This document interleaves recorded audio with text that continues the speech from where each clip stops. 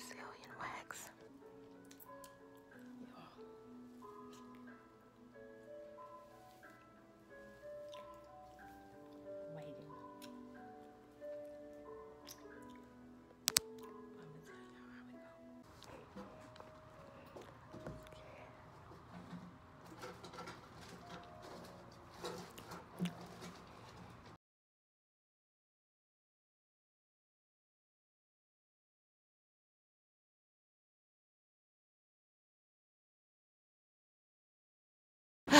Y'all, I am back home from getting my first ever Brazilian wax and my God, I don't know.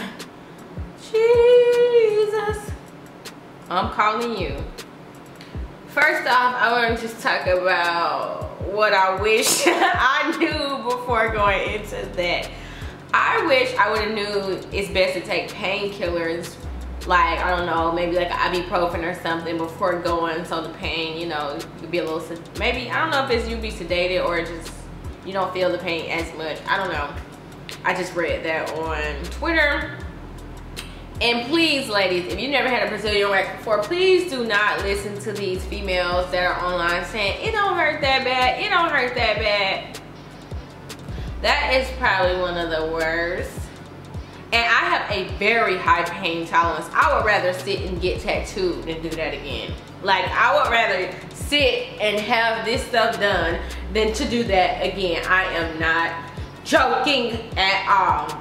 So another thing I was to known is not to get more than one thing done when you're going for your first Brazilian wax. Because me, I got three, th three things done. I also asked for them to wax my whole entire back and I asked them to wax my entire stomach.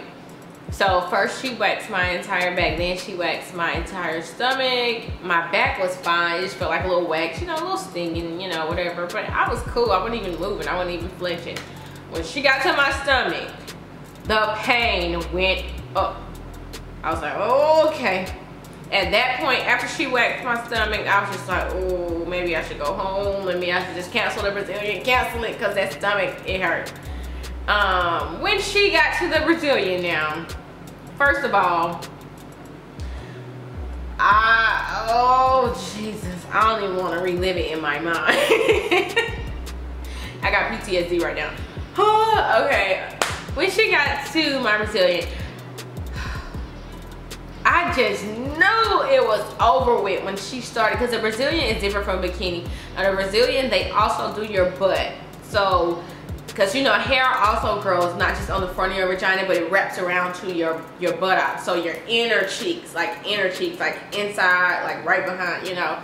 Um so when she started to put the wax on my butt area and connected up to my you know my vagina like lips before she even ripped it off i just knew it was over with. I knew it was over with. I knew baby. When she because they have to grip it in order to pull it all the way off so they kind of take a little bit at first to grip it and then they pull it. That grip that she had to take under there hurt so bad. I my legs because you have to have your legs in a butterfly so like this. So you have to have your legs like that. I don't like that for one. And so I had my legs like this. When she did that first little grip off almost kicked that woman and I didn't even know it. till she was like, hey, hey, I'm pregnant. So please don't move, I'm pregnant. And I'm looking at her and I'm like, oh, girl, you finna, we finna be at it because I cannot just stay still like this and hold my legs when something's hurting. To the extent that that was hurting, like the pain. Oh. When I say I felt like I was gonna pass out or die or not make out of there, I didn't know what was gonna go down that pain is a 10 out of 10 on a scale from 1 to 10. It's a 10 out of 10. I don't care what nobody tell you. If it's your first time, you are going to, ooh, Jesus, Jesus, Jesus.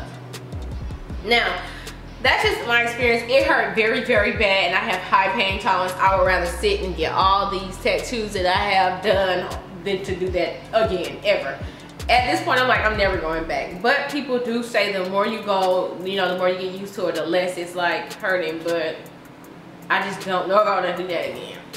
Another thing I would say, if you've got a Brazilian wax before, comment and talk, tell me about this situation.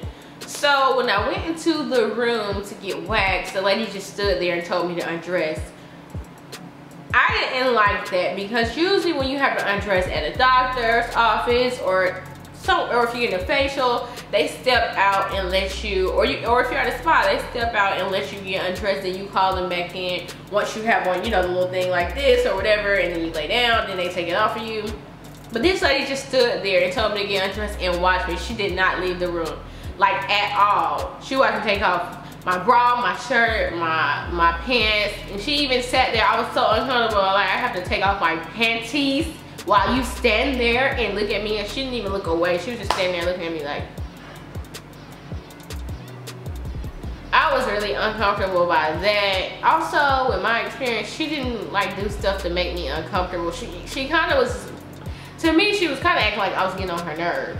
Um, I told her when, when I walked in there, it was my first time and you know, I'm a little scared and she, she didn't do anything to make me feel comfortable. She made me get undressed in front of her, did not leave the room. And then when she got done with my Brazilian, I had like a few specks of hair just like on my, in my, you know, on my, like, and I'm just showing her, I'm like, even though I didn't even want to go through it again, I was get ready to go. I was just like, why are there a few specks of hair? It's not all the way smooth. There are specks of hair, like right now, left on there. And she was like, oh, they're too short. So next time when you, I waited and let my hair grow all the way out to cut, to get this Brazilian wax. And then you're gonna leave a few specks of hair on there. But I didn't even fight it. I was just so over it that I just left. I was just like, I don't even want, oh. Yeah, I'm not exaggerating.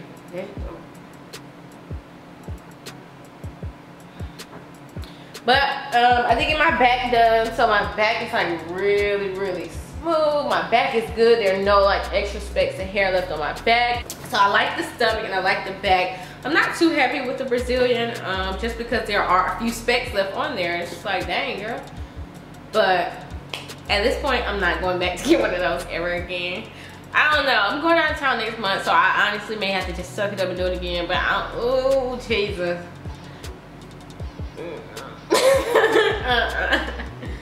That's my rating, my experience getting my first Brazilian. I don't know, maybe I'll get another one, but at this rate, I'm just gonna shave it out. Shave it out, I don't know. Oh, love you all, and I'll see you all in the next video.